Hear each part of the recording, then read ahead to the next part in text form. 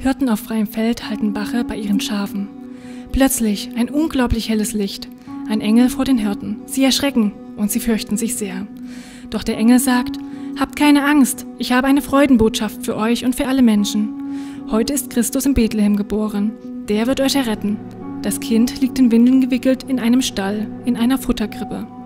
Und plötzlich sind bei dem einen Engel viele weitere.